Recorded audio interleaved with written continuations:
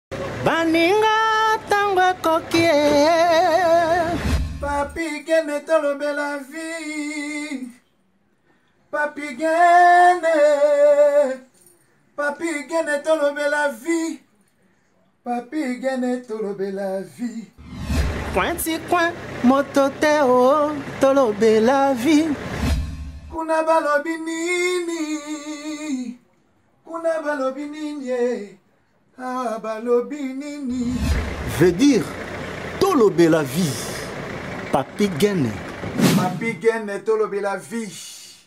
papi gene tolobela vie salut et bienvenue sur euh, tolobela vie officielle merci na bandeko nyonso bolandaka biso merci na bino je crois nde tosalaka émission oyo so bomoni eh, imbatable je crois bomonaka équipe ezalaka mais lelo tozali awa mpo tomeka kobeta nongo masolo voilà un grand merci na équipe mobimba ya tolobela vie merci na notre réalisateur steve malungwene merci euh, na, na, na, na eric chimanoko pdg authentique washington le grand pays na munich alvaro mons le prince de la paix wana eza babase na biso donc tokutana mingimingi chez sims biso na biso na route de vienne makambo yango yango bolobaki trop non papi gen eh, ndako kaka fo biro biro na bibango d'accord biro yango oyo mosusu efungwami donc euh, soki oza besoin baémission tozongi mpenza ndenge tozalaki bora bigop na yo naza na maître tshura mboma oyo eza laisser partir mon peuple n'est-ce pas ton peuple oyo bacombattant yango na bandenge ebele mpo na précision de ce parti o peuple ezalaka mutu te je crois tosalaka yango na bishop chatumba mais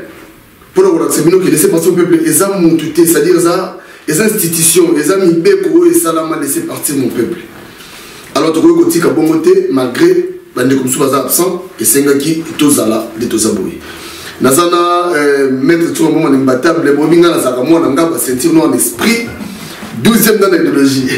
maître boni déjà en tout cas merci mingi papi gene ngai naka mwana ntiango epi mwana engasani hmm. la voix et la bouche autorisée ya basportif nyonso ya monde entier donc otali su lelo nayebisi yo longtemps mboka sa ezokule ba ancre na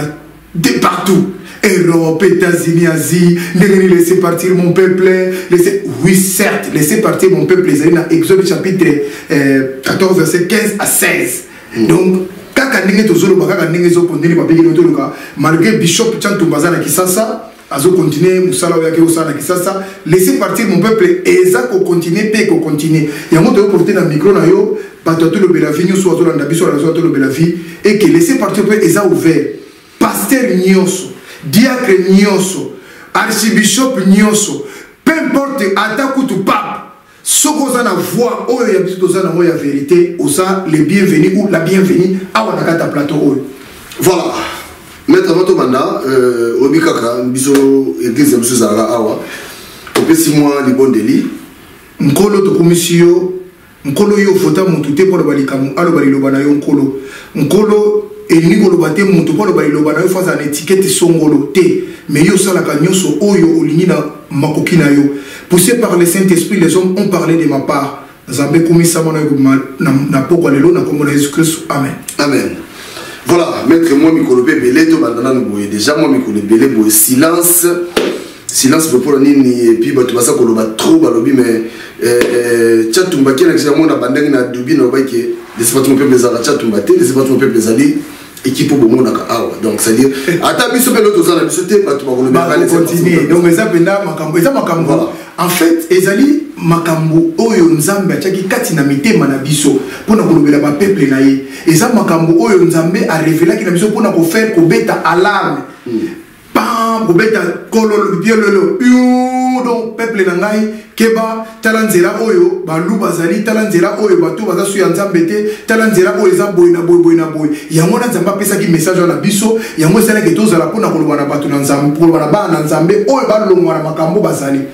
c'était c'était ça alors ntango bato bamesai na biso ndenge wana eza maloba nzambe ekotika ata biso tolongwe nzambe akolongwa nzambe te azala nzambe biso tozala epuis aza na besoin na biso te ma aza na besoin ya makambo tozoloba mpo na bapeuple na ye bayoka yango oyo emoni tolobaka toujours ata bishop chantoba aza te ata frère mosu messager aza te mais mosala na biso eza kocontinue comme d'habitude mais silence moko boye tozwaki bozwaki silence moko boye bazomona so bino te c'était dit ya kua ezaka mpo bandeko mosusu bazalaki te non non non non eza makambo eza ba orientation oyo eza ba orientation makasi makambo ya laisser partir mon peuple eza makambo ezo toucher ba âme ba sensibilité mitema ya bato mpe bafidèle alors faut vraiment kozwela yango temps ya bapriere kozwela yango temps ya kovanda kozala vraiment concentré na makambo oyo yango moi tozwaki temps wana parce que tobetaki de partout nasi lelo oyo bato nyonso baza na bandako bapapa bamama bakendaka baeglise mwa bareserve ezali bakomi na mwa frai moko boye na makambo bakomi otalela eglise na ndenge oyo baza kotalela yango liboso te omoni liboso ezalaki omona bapaster nde bazalaki na reine omona paster okoti na kati eglise bazwi foto nati azoseka na kati eglise oke place eza place atya yesu donc afandi lelo nde eglise ekomi ya ye atye mpena tala ezokontinue ti lelo paster na kati eglise okota paster atye foto na monene azoseka ozosekisa nani po parce que wana eza makambo place wana eza place ya yezu yo kokota place wana te po bible biso tozala yango na maboko loba na biso nzambe akozala represente te nzambe akozala represente na image moko te na foto te na nini songolo te bongo oyo otyeli biso ya monende wa yo nani donc ezo continue kaka dofu makambo na yo tu tozalaka toujours kolobela bato babanda komesana biso apartir ya lio todemare déjà donc ti tozokende ti na suka voilà donc euh, je crois ezalaki nango silence te eza euh, laissez passer mon peuple ezali donc euh, nde bozomona boye tokobanda ozala boye chaque fois tokobakutana boye mpona euh, édification ya peuple ya nzambe parce que laissez passer peuple so otali bien toya kolobela nde makambo oyo euti mpena pa ya nkolo maître lelo oyo euh, oyo eza juste euh, mwa flash bato bamona déjà que non tozongi et tout alors soki otali nde okomona ke makambo ezosalama mikolo oyo baimage moko etamboli ya pasteur kabundi wa lesa mhm. comme quoi annonce que félix tshisekedi il faut akufa soki aluki ye te alobi dans deux ans soki aluki ye te bakosala ye coup d'état nayebi te bino lese basoki boconcevoir message mais bato na bana na nzambe na bapeuple de dieu bazolana bafungola matoi bayoka yango spirituellement botya manette spirituelle mpona na makambo nazoloba bokokomprendre ke toza na biso devant bato balingi kosala base na makambo ya nzambe ezalaki eloko moko ezalaki bandaka les gens n'ont pas compris est ce que nzambe soki alingi aboma banda na vaa na église ya congo premier fois namona mosali na nzambe soit disant alobi ke soki président aluki ngai te akokufa non non te wana te banda kongo ebanda kongo nayebi te so bato mosusu baloba yango mais oyo ye alobi deja eza aventure oyo mark luka auto osala kosekisa moto alokuta ce sont des aventures mon frère nzambe kongo oyo euti na pasi epuis mpo mona baza epuis omonaki aza aventurier ayaki awa na poto papa wana kabundo walesa azalaki awa na poto awa avaa na poto bayelaki ye baenfant autiste bana babelaka belaka bazalaka na bamalformation kuna bana mosusu matina babis awa eh. bazalaka na problème ya bakoloba hmm. basoyi banini asenga association wana dim bapesa ye dim alobi boya na bana na nyonso na kobikisa bango bayela ye bana ya baforme nyonso akima Avant d'autres na lidusu boye avandisi bana banda tongo ti 19 heures tanga ye akoti na ndenge kati atele lidusu akuti ba malformation ezalaki na bana wana nde balaki abi oyo naza kosala maseki na koka te benda akima akuta na bana te atika bango akendaki sasa sikoyo alobi ke tisekedi fa mona ye soki amoni ete ifa kufa est ce que ça, ça de la sens na bible bible eza na sens na makambo wana te et puis il faut il faut bato na nzambe tokóma na baniveau ya babase te il faut bato na nzambe bazala bato na nzambe oyo ya solo parce que ntango ozoloba ndenge wana après liwa na ye qu'est ce qui va se passer parce que c'est tout parce que eza message ya makambo ya nzambe te wana eko makambo ya yo moko personnel ah, il faut aluka ye non il faut il faut na makambo ya nzambe ya oyo azoloba na eza te tala nzambe aza souverain soki alinga boma ntango alingaka boma kabila le père aloba na motu te aboma ye ndenge alingi lelo soki ndeko na biso félix ekela alinga kuta na problème c'est dieu lui même qui va faire ata kuta ye na kosala eloko te nazoyisa bino koselo te parce que akosala mpe eloko moko ya grave te ça ce sont des choses oyo bamesana kokanga nango bato mais yo toleka na afrique du sud awa bamoni motu mpena seko ya lokuta demain omoni église ndenge diego tokoma okoma nango est ce que soki osali ndenge wana après sima esali nini donc afandi babandaki atanga élection ezalaki balobi na biso ke o oh, ye kuta prévision ezalaki moto akozala président oyo oh, ye alobaki bango bandimi ne bayebi est ce que ye moto azala président de la république nzambe ase trompaki nzambe ase trompaki bapesaki biso baprophétie tous les prophéties delise kuta alobaki moto akobima sadar parce que delise alobaki na télévision nzambe alakisi ye sadar bapaster nyonso nzambe alakisaki bango shadari bapaster mosusu nzambe alakisaki bango bapaster paster moko kutu nazwi bapaster nanga maluta alobaki soki ye abimi président de la république te seke azozonga su nzambe aprendre ye te soki lelo nasi azoluka nzambe aprendre lisusu ozomona des hommes de dieu kongo bazosala baventure na makambo ya nzambe epuis bato telema bato bafidele baza bazoyeba lisu eloko bazosa base retrouve devant bagouru ya basecte wana devant ba bato oyo bamafie wana devant bato bazosala makambo oyo bango bazokanisa bakanisa nde nzambe moto azoloba nzambe aloba mpasi mpe mawa na profete oyo akoprofetize na audace ke nga nzambe natindi ye te nzambe oyo ya likolo ifa atinda yo aza na bilembo atindaka bato yango nomoni ntango ayesaki moïse ke nazongi na nati no moïse abi nzambe kotinda ngai ndenge wana te bato wana bakondima ngai te qu'est-ce qui prouve que yo moto otindi ngai nzambe azalaka travaillaka bongo meme mama ya samson avant samson abotama balobaki atunaki toujours nzambe alobi pesa ngai eloko moko papa ya samson eloko nde ezolakisa ke yo moto osali makambo oyo c'est ça la preuve partout même jésus christ ava botama epa marie c'était toujours des preuves okomona boye okomona boye ekozala meme jean baptiste c'est toujours comme ça siko motu moko oyo avandi na basentiment na ye papi gele abandi koinduire peuple de dieu mobimba na makambo epepe ede ezokola na makambo ya ndenge wana koma okobimisa prophesie ya ndenge wana soki eza prophesie euti na nzambe soit disant mais lukaluka ye soki nzambe moto apesi akoraconte akosala barencontre wana bana na nzambe oyo eza likambo etali bino omoni moïse ntango alingaka kutana na, na farao nzambe moto aorganizaki makambo wana nyonso tu bakosaka bino te fo otangaka bible nzambe moto asalaki moïse akutana na ye na lere nyonso tu nzambe moto azako se telema na ntongo kende komona ye bagarde corps bazala bato bazala te ata aza na armée jusqu'au dent kende moise kutu moise yango soki okokobanga maisi abikende kaka soki akende nge nzambe alobaki akokende mpe akutani face à face na pharaon kutu dernier fois pharaon esi abi omoni ndenge namoni yo lelo awa mokolo ya komoni mosusu wana koboma yo azokamwa banakota na ezokutana na ye bongo oyo ya bango sikoyo kaka ovandi boye nzambe alobi na ngai abeti eloko moko ndenge paster luka auti obeta eh, ke esala base mais ça prend pas na ndenge bato bayebeli nzambe lelo eza sous na ampleur te ekomi na mwa biloko moko epuis dès kolobi eloko ya ndenge wana bato bacomprendre eza ke oza aventire parce que soki azalaki moto na nzambe oyo alobi ke nzambe moto alakisi ye bana oyo atiki na poto azwaki dimi na bango mpo abikisa bango bafortis wana bana oyo baza na bamalformation mpo na nde asalaki te omoi lokuta alobi na bato boya ndenge basalaka baechantion ya campagne wana baaveugle bakomona bane bakotya bana wana ata basituation balobi e esili solution ezwami nzoka nde eloko wana esalamaka kaka na sillage na bango esalamaka kaka na église na bango préparé par bato na bango parce que baveugle wana aza bato bango bayaka na bango bakoko wana aza bato akenda luka bango na kinkolo ye na ba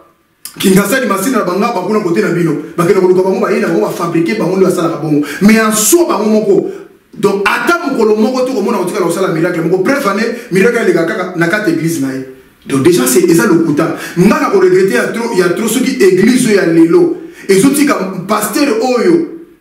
walesa on a du respect aza mokolo aza responsable mais de dire des choses comme ça au nom de dieu moi je crois que église ekomi na lokuta déjà oyo aotosala biso deja ya minene na afrique du sud ba elembisi bandimi yango nayesa bandimi fo ozala verti ntango bozomona makambo oyo bokamwaka te matie 24 elobaki likambo oyo bokoyoka na mokolo ya suka bokomona nyonso bokoyoka nyonso mais bozala prudent baoyo ya ngai baoyo ya ngai bozala prudent yango wana omoni alobi l'heure est venue les a venue où les vrais adorateurs adoreront le père en esprit et en vérité ayebi ke mokolo lokola ekokoma bato nyonso bakoma bato ya lokuta bafose bamanipulateur bato bakoya mpona kobebisa bana na nzambe me ngai nzambe nakozala na bango na esprit baoyo ya ngai bakoyoka nga ntango nazolobaka bango bakomprendre ke ah, kolanda wana eza séduction abengaka yango eza makambo atanga suka ndeko nanga bokota na logique wana te eza lokuta aza manipulateur aza escro nani asala likambo moko te oyo esalama na bomoi na ye epa moto esalama so apart bato aza na entourage na ye yezu il parcourait des villes en village azokende osala bamiracle alongwa akende na samarie akende azokende partout bino ya bino eza kaka ezwa kaka na eglise na bino etikalaka ya bandimi na bino pourquoi pourquoi etikalaka ya bandimi baza lisakolo eza bandimi natunaka bango chaque fois lelo tozangano na poto awa eglise ya notre dame eziki eglise ya bafranc maçon mpo na nini prophesie ebimaki te toza na bandoki awa ye kosala nao prophesie te ke tramo ezala na congo akosala nanu prophesie te ke mboka na biso nzambe alobi na ngaki alinga visite yango na ndenge moko yo fo ozala na prophesie kaka nzambe alobi azokoba motu soki aluki ngai te lukuta lukuta akoluki oza nani yo oza na nzambe nzambe opozana eza nzambe ya solo te soki azalaki nzambe asola koloba biloko wana te on a, on a parcouru la bible banda na genèse ti na apocalypse tomona nanu apart baprofete oyo baprofetizaki na audace na bango di la bible bakutanaki mpe na baproblème bakutanaki mpe na baproblème lokola bango ngai nakolamusa bana na nzambe bazala toujours éveillé komipesa epa bapaster oyo te namoni mpo likambo boyeleka fo leka epa na ngai mm. nzambe mpo asala na motu papi gene azalaka na besoin ya autorisation ya motu te atinda yezu awa na autorisation ya ni angelu ni ya moto ya mabele awa c'était lui-même par sa souveraineté atindi yezu mpo soki alinga asala likambo oui la bible dit nzambe akosala likambo te na kati ya mokili oyo sa aloba me akoloba ngo na bafantile lokola bango te il faut aloba ngo na bato oyo apesi na basine nzambe atravayaka bongo bato nyonso tu atravaya bongo meme jésus christ lui-même ntango omoni akomaki devant pierre pera nani devant jean jean mpe alengaki na esi alobi te il faut naleka na nzela na yo mpo liloba ekokisama ayaki na mai mpe nazo jazolenga abatisi mo de c'est comme ça bango baza bato oyo avandi alamuki na tonga ah ndenge nini navandi kimia boye nasi nalobaki motu te moto akozala président moto yango azali président te alors mpo na koboma bato oyo lokola bacongolais baza plus na église lokola bacongolais baza plus na makambo ya nzambe tika nabeta boye mpo ngai na bima likolo ya bato baprofete nyonso tu oyo balobaki makambo ya mboka na biso bakosa lokuta na lokuta nayebisi yo bango nyonso baprofese kaka bato babimi te bapoze mpo na lokuta nazopesa bino paster beles alobaki na télévision ke shadari moto akozala président de la république lelo shadari moto président de la république natelemi mpe sasenga bana na nzambe pardon atelemi mpe azwi mikro abandi lisusu koteya ye mpe lisusu ndenge asali bavantire wana deuxième koleka ti okomona félix wana akosala ata 10 ans akokufa na ye mpe te akozwa na ye mpe problème te epuis nzambe parce que losambo oyo esalaka président de la république oyo esalaka oyo moto aza eleve na dignité bino elobi na bino sikoyo félix akoki koluka ye te mpo asala nini kasi mpo ye azwi lisakolo mais avant akoma président de la république fallait ya tala lisakolo ebandaka na moto afazala na rien biso tondimaka lisakolo ebanda na rien moto aza neti yo papi gene boye moto yesu alobi ke papi gene lobi okozala président par exemple mpe okozala bourgmestre ngaba o tofai na biso après quelque année deux ans trop tomonike bobikela boye buke oserefere bango na parole wana a ah, balobaka na nga likambo te songolo songolo mais sikoyo oyo kaka moto asako ntango kutu azalaki nanu fana loba to olobi e eh, nzambe azotalisa ngai akozala président de la république mais dans deux ans ah, bakoboma ye il faut aluka nga na deux ans wana tongo tomona eza normal avant sikoyo lelo makambo esi esalami nango ndenge esalami papa toza na bocultise oyo bayebi nzambe te bango baza bacamarade na bango bafranc maçon bato ya bailluminati baza bacamarade na bango bapesaka lisango lepa na bango te kabila avana na bango wana 18 ans na na pese prophetie te mpo ani alobaki te kokufa aloba ye omoni manipulation 18 ans ya kabila ya pouvoir oyo bato nyonso bamona mpena ndenge azonyimata bato mais mokolo moko nzambe ya lola amona ndenge bato bakufaka na goma te nzambe ya lola asala mokili l'homme sacré mutu oyo nzambe asala na image mpe na ressemblance na ye akufi ebele na bawi ituri akufi ebele na bamboka nyonso tu nzambe amonaki bato atakangi miso atiki moto azalaka président de la république nzambe azonga nde akomi bandeko nyonso na kisasa wana nayesi so famille ezalaki touche mais bafamille oyo ezalaki touche nzambe akangani miso avandi abi te wana bakela bango perte nayebaki bango te lo nzambe sikoyo kaka nde na 18 lokola basila bino yo nde bakomona desa eza lokuta ndeko na ngai bana nzambe fo ofungola miso lelo ekomi mokolo ya suka na ntango oyo soki boza makasi te Liputa songe nango ezalaka ya kofungwama kaka na moto aza na boyebi te liputa ezalaka songe nango efungwamaka kaka makasi na moto azanga connaissance mpo chapantele ekomaka lidusu mon peuple peri par manque de connaissance soki oza na connaissance te mbongo ekofanda na poshi te bato wana bazokoma na mbongo bazosala bavoyage ebele edaye prefane abenganaka bato na eglise alobi sort de mon eglise eglise ezalaka ya ye eza ya nzambe te or mission ya nzambe meme lola mpo esepela balobaka mokolo oyo mutu moko abongoli motema na se ya moi oyo fete esalami na lola mokolo profesi te mokolo mutu akomi millionnaire te mokolo nzambe apamboli mutu te mokolo mutu akomi ndoki te me mokolo oyo mutu abongoli motema atiki mabe atiki mabe nde mokolo fete esalamaka na lola yango na nzambe Ah, Jésus-Christ, azalaka ah, absolu. Nul ne peut venir à moi si mon père ne l'attire. Nzambe kaka na kobe. Ah non, batu faut pas t'en appeler ba congolais parce que ça sont des manipulateurs. Le autre jour bana bino boye bokolo batu ko jamais non. Na yebisi bino ce sont des baza besko tala bango malamu comprendre ma pigel. Ce sont des bateaux ba koti na kata bilanga Nzambe ba ko bebisa makambo ebe na zoloba banda to va l'église de l'éveil. Bref, on doit aventurer, aventurer, aventurer à boire le makambo. bakomi mibale na lukau asekisi moto ya lokuta na ye tu vois eza makambo moko nzambe nzambe kuta aza wana te ata mpe aluki ye akoloba nde likambo ya malonga te mpe akoluka ye te sikoyo ye ndenge alobi elanga alobi na sens omo apelaki nonde kuta na besoin la kutu tabi kaka no naza na besoin kuta ba 100 dollar wana te na besoin kaka parce que so aluki yango te da 2 ans akokufa lokuta azalaki na edingwe te mondimi nini akende kosala bajango na edingwe apesi edingwe mbongo mpo edingwe ayakoma mondimi na ye edingwe mpo abalukaka te abalukela ye kaka le même pasteur wana ye makambo osala te azosala do ye aza tout ce qui bouge oyo amoni ke eza na actualité yango nde yaka kokota esika wana c'est ça œuvre ya satan satan ayaka mpo na koregne kodomine me mwana nzambe oyo jésus krist ayaka mpo na kosangisa bato kozala unité mboka nika chaque fois nokaka baprofesi motu te na kokufa moto te nakokufa moto te nakokufa nayoka profesi te ke nzambe azolakisa ngai mboka ezobonga ekokoma na batramoi mboka ekosala boye nzambe oyo alola tosambela banda butu mpe mpo biso tosambelaka na kongo eh. mm. bakongole bayebi nzambe mai na niveau toyebeli nzambe na biso tokozala niveau ya pauvreté toza nango te si c'est vrai c'est dieu là il est vivant et ke asalaka à travers basali ne ya vrai nalobi te ke bato nyonso baza mabe ya des serviteurs de vrai bazali mm. soki mpena nzambe azalaki tozalaki na bakanale ya baserviteur de dieu vrai oyo batikali ya 1 wana papa kongo wana elingaki ebonga kongo wana elingaki ezala boye te papa na mboka moko bazalaki na profete moko komona ye eli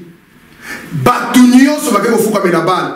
atikali ye moko asala defi na bato nyonso tu me lokola azalaki na nzambe mais on a vu le résultat ye moko bien contre bato nyonso ya mabe toza na profete mosusu komona ye eh, prophète nani eh, komona ekimi nga prophète moko oyo bato nyonso baza koloba kaka malamu ya roi ye akoloba kaka mabe prophète wana mais na suka nango celui qui avait raison kutu roi ayebisi alobi bokange botyai na prison ndenge nake apesaki roi alobi moni oke bitumba wana ozonga te soki okozonga te ese ah lokola na kozonga te Michel, le prophète Michel, ah Dieu soit loué, Nzambe azala bongo. Donc prophète wana bato bayaka 100 ndenge bango bazali. Eh, eya ya kasi mokonzi abi te makambo alobi eza lokuta ainsi dit l'éternel eza boye eza boye dernier jour guerre mokonzi alaki de guerre ese mokonzi soki guerre wana ozonga te eh, yo ye lisusu nafandisi plus de 150 prophètes balobeli ya ndenge na ndenge bamona makambo panda 20 ans 30 40 ans yo yo banisu makambo oyo botyela ngai na prison soki nazongi te soki nazongi tokoka te motu soki nazongi te botiki ye azonga mpe te c'est ainsi dit l'éternel c'est ça yahweh c'est ça jova c'est ça oyo nkolo azalaka aza bongo me oyo ya biso ya paster ya lelo moto alaleleka na ntongo alamuki boye président okufa da 2 ans prophétie nini wana profesi ezwaka mabota na biso apasi papigene tobotami na bafamille moto abotami na famille eza esengo aza te mpo na nini nalobaka likambo me mpo na nini profesi wana ezwaka kaka bapauvre toza na kati ya mboka oyo ya france bango baza ayaka wana poto lelo oyo eglize ya bandoki eziki awa na france eglize ya bandoki eziki bomoni badessin makambo nyonso ebimi wana metala mbongo barekolte kombe mpo na koretablir eglize ya bandoki bongo biso toza na jésus oyo aza seigneur de seigneur roi de roi vraiment mpo na nini tokozala manipule ndenge oyo tokozala kotikala mpena ndenge tozala kaka tala lecture ya pauvreté oyo ya 18 ans tozala nango mais tozalaki na nzambe bongo lelo oyo nzambe wana azozala to lokumu babondelaka nde bapriaka bible elobi il faut koprie mpo na baautorité ya mboka si ya un problème présente toi c'est dieu là akopesa baproducteur komoi soki ekomi ya kolanse bongo oza na mosiri te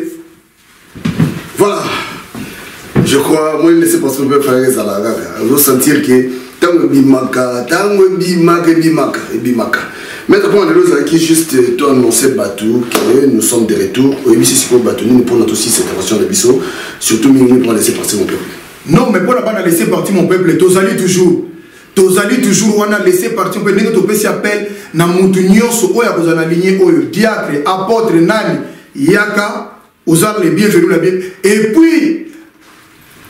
na orle nani nani na orléans mm. orléans pasteur wana azongisi sur église pasteur titi eh, komona eza titi keba keba papa toza deja na dossier na yo na doni na yo nyonso ozongisi eglise kote ya, ya lidel pras oti mwasi no moto azoteya frère attention kosakanaka na nzambe te nzambe oyo soki asalaki so misala eza ebele papa misala futukina orlean misala eza ebele akosala na biya benoit 16 aboyi makambo ya kipapa afandi te esi akufi nzambe aboyi ye ademissione na afandi moto abomi ye te me bino mpo nani makambo ekomi lokola drogue ya kokosa biso konyokola bandimi bandimi oyo bazoyobike babato baza na orléans moi je regrette beaucoup namoni bacongolais amesai na niveau ya bakosaka ye c'est normal parce que bible eloba ndenge wana kaka fimbu eza na mokongo ya zoba fimbu eza na mokongo ya motu ayebi eloko te fimbu eza na mokongo ya motu oyo alingi koyeba te vraiment paster wana titi makambo auti osala na orléans lelo lisusu azwi susu mwasi na ye oyo wana atie liboso ati ya bino boye kovanda na nzambe osambela mpe nzambe wana aleluya amen mais non mais mais bakongole nayebi te yango nayosa bino eglise lelo ekomi komona okoti na kati eglise batie foto ya monene na paster aoseka ondire ah, non gene nasi yo bakongole babavantire nzambe apambola bino bolandi biso laisse parti mope tosi tozongi toza wana tokolemba bino te tozo kodenonse tozoloba wa jésus christ aza absolu jésus christ elu le maître suprême ye nde biso laisse parti mope eza mpona kolakisa bana na nzambe toza contre bapaster te parce que les gens no compris pas notre démarche toza contre bino te kekoloba ko te tozali na besoin bapratike na bino wana oyo bozo ko aliene nango bana na nzambe oyo bozo komisa bana na nzambe lasi bakoka lisusu te kokota na kati ya mabota ya bana na nzambe kodetruire bavie ya bana na nzambe na baprofesi ya lokuta c'est là où nous voulons pas maintenant ke botika nzambe ye moko soki alingi asala na motu aza na besoin atuna motu te aza na besoin aleke pa motu te asala makambo ebele na bible atuna motu te papa motu moko na bible ekomende jonas batindi yake na ninive akimi ake na tarsis nzambe azongisi ye kuna ntango batindi yake akimi abiana kokende kuna te ntango akei kuna akomi na nzela tarsis ake mbisa mele ye kozongisi na ninive akomi kuna boye akomi akomi koteya boye nzambe ayoki ne mawa bato wana aboyi ne koboma bato wana ndenge akanisaki afasana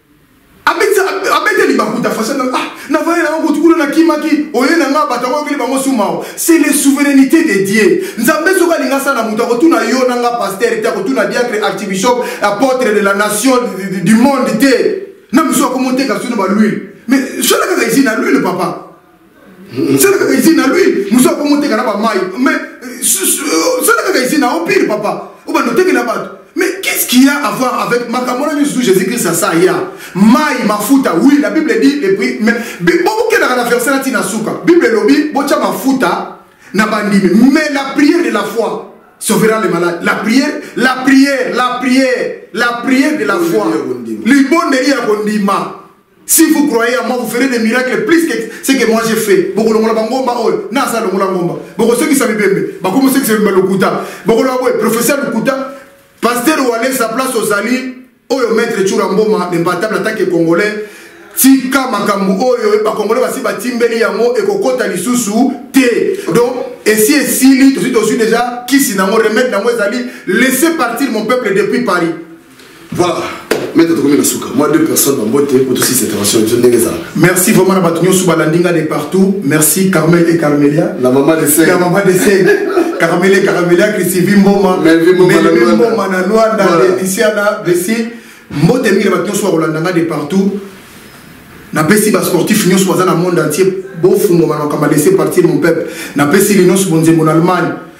mbote mingi place ozali linos eh, eh, inyonga mayama place ozali eh, emeka tenda na sarcel mobali ya mama eli mbote ebele eh, peti na nga booto wana azalaka te wana bapartagea peti na nga nadege fernanda peti na nga suzanne limbondo wana bato oyo baza bana laisse partir mon peuple bato bafandaka mpena soki baye na eglise oteya mpe akefungola so na ndako bapaster nyonso baza partout na monde entier boyeba ke mabe oyo eza mabe nyonso bozosala na compte na bino soki boza na bandimi 20 boyebaka deja ke 18 bazalaka bana laisse parti mon peuple biso toyebaka makambo oyo ndenge nini il faut ovanda oyo mituna obi o oh, bino boza na kati église laisse partir mon peuple ezalaka kuna te mais toyebaka makambo na ndenge nini il faut comprendre vous êtes maintenant contrôlé par les enfants de dieu eza biblique bakristo abele baza kosala yango kokana te excuse eza mpona yo lelo te bato ya nsima basi basala yango d'ailleurs la bible dit eloko moko ya sika na saa moyo eza te nyonso tozomona esi esalama deja donc yebaka ke place ozali partout na monde entier soki oza pasteur diacre apôtre de la nation big prophète yebaka oza na bana laisse partir mon peuple na kati na yo okay. Voilà. Merci na bandeko nyonso bolandi biso obetisa malibaku te laisse passion mpe blandino yango oyo je crois ndenge beta tshunga mbo malobi tokobanda osala